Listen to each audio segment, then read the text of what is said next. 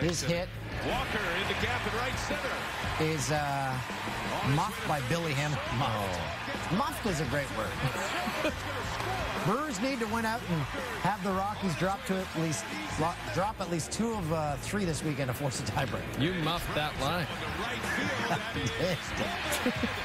Tied at three in the six. One off for Brett Phillips. He uh, drives one over Jesse Winker. Brewers keep the playoff hopes alive.